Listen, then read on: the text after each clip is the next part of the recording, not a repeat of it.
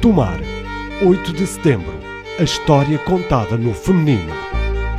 9 de setembro, estátuas vivas, arte na rua. Festival Estátuas Vivas de Tomar.